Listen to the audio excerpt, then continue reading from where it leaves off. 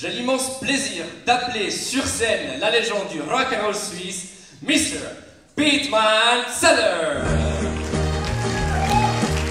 Hello, Reverend.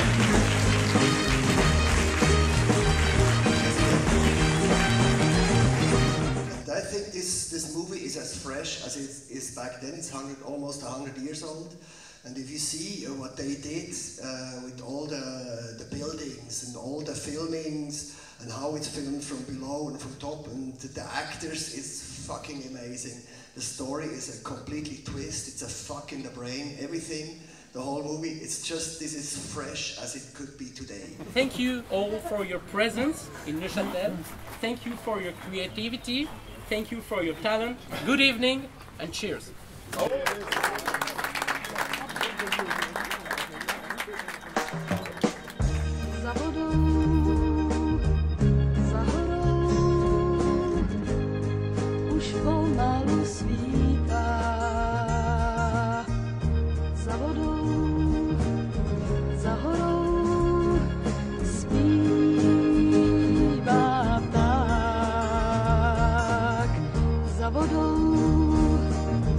Za horou.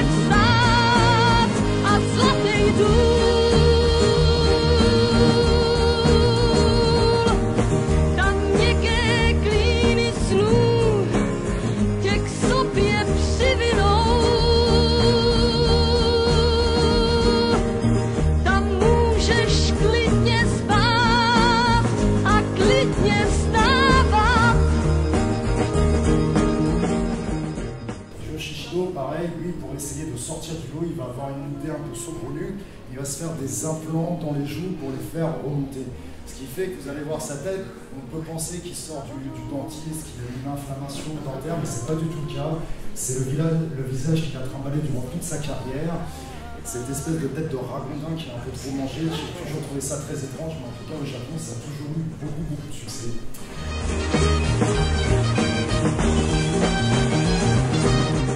Was cre- created from the sketch.